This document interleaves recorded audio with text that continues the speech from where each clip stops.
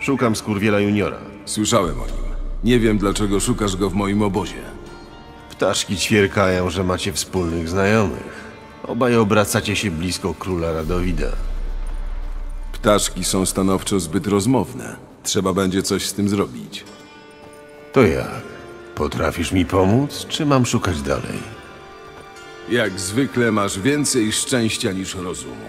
Wybieram się na spotkanie z redańskim szpiclem. Spotykamy się pod Oxenfurtem w klubie szachowym. Dzięki, wiedziałem, że mogę na ciebie liczyć.